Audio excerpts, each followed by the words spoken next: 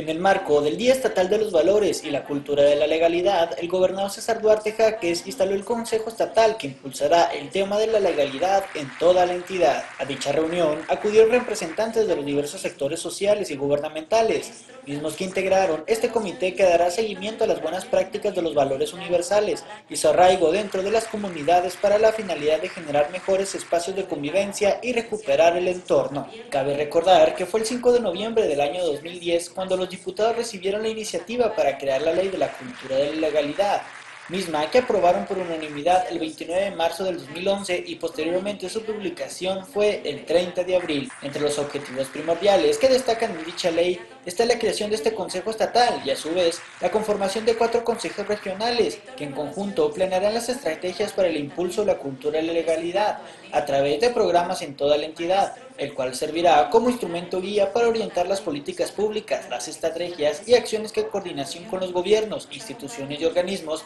tanto públicos como privados, que contribuyan a la construcción de esta cultura. Para Tiempo la Noticia Ya, Pedro Fierro.